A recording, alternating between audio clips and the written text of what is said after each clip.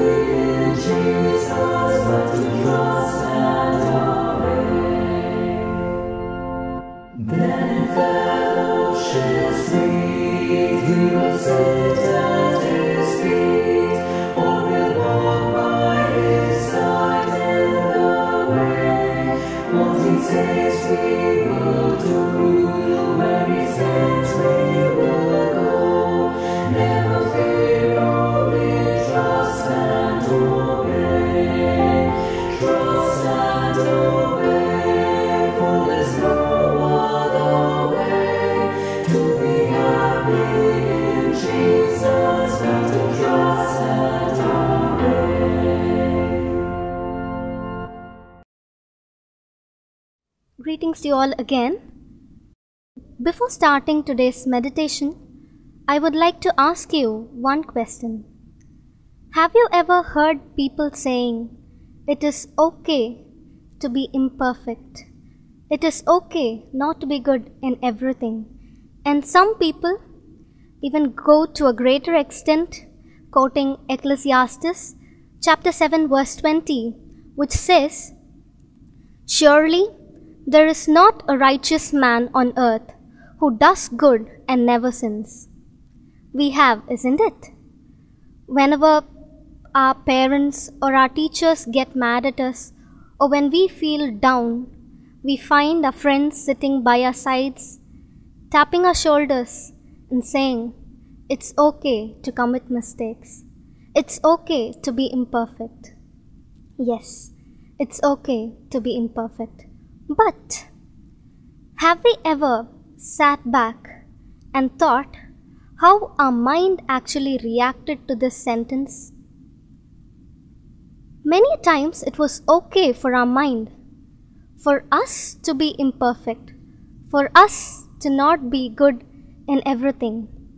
But when this us is replaced by someone else's name, are we feeling okay? Is it okay for us? It's a time for us to think.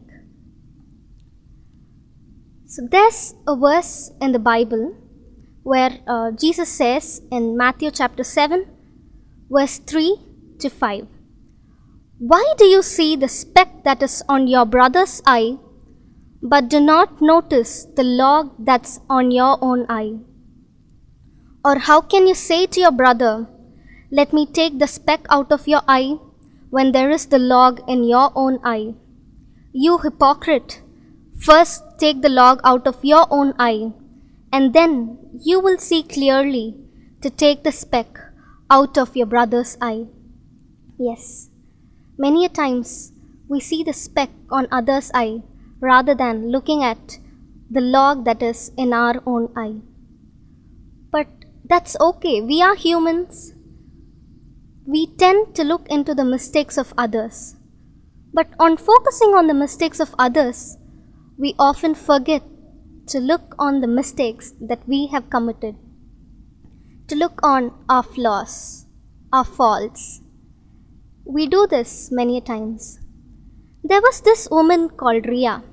She was very gentle, very pious, very regular to, to the church, which she regularly attends. There was this Sunday when she was listening to the sermon, she found a group of boys playing with their mobile phones when the service was going on. And there were several kids running here and there in the church. She found very unhappy. She was not happy with what was going on there.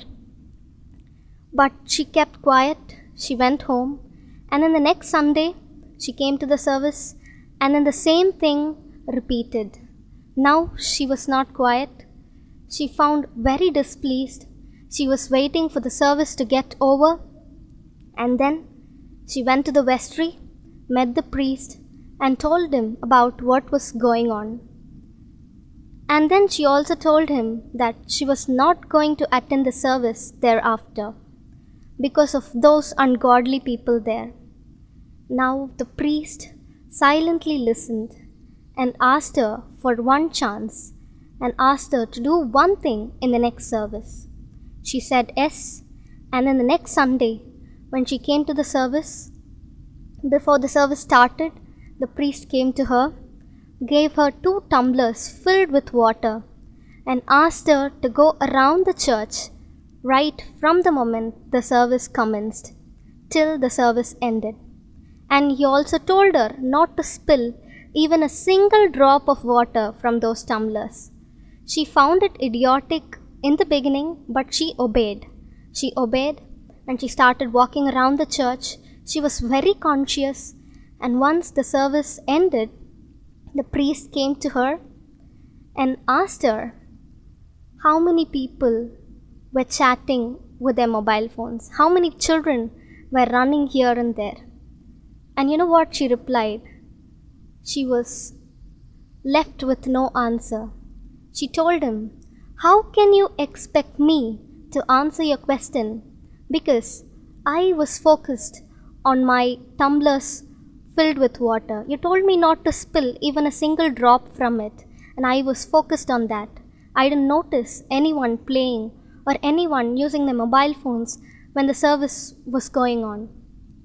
Now the priest smiled and replied, Daughter, it's all about on what your focus is. It's all about on what your focus is. Yes. So today in our lives, where is our focus? Is it on something productive or on something useless? Is our focus on the faults on others or are we standing in front of a mirror reflecting our own mistakes, our own faults, and trying to correct them. There's a saying which goes like this People who spend time looking for faults in others should spend time correcting their own.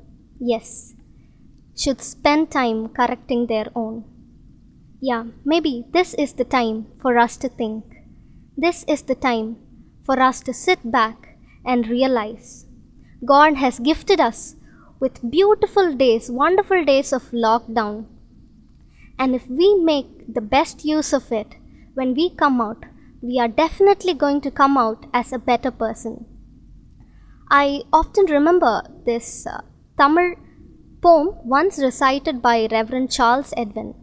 It goes like this காட்டிலே ஒரு தனிமரமாய் வாழ்ந்து வந்தேனே கட்டுப்பாடு ஏதுமில்லை நிமிர்ந்து நின்றேனே அன்றொரு நாள் தனி மனிதன் அருகில் வந்திட அடியோடு வெட்டப்பட்டு வீழ்ந்து போனேனே. துண்டு துண்டாய் வெட்டப்பட்டு ஊருக்கு போனேன். வெண் தணலின் துளைகளாலே வேதனை அடைந்தேன். மெழுகு வைத்து தேய்த்திட பலபலப்பானேன் தாடி ஆயர் கரங்களிலே குழலாய் மலர்ந்தேன்.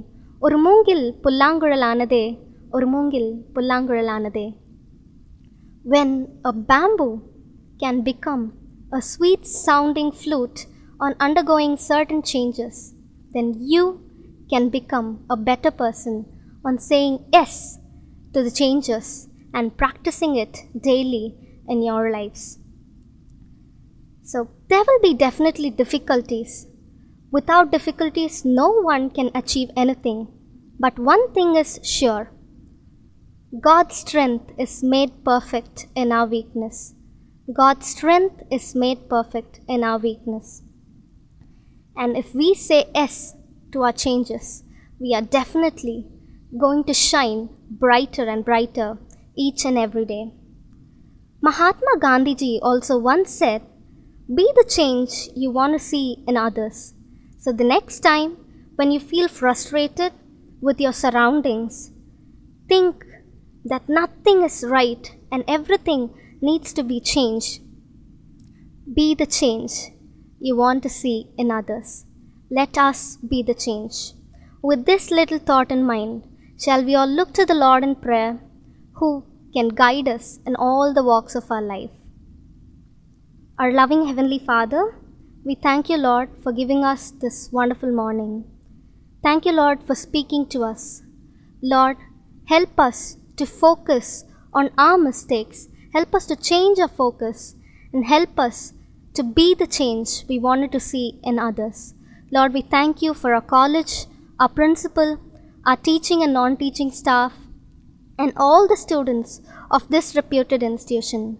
Thank you, Lord, for keeping us hale and healthy.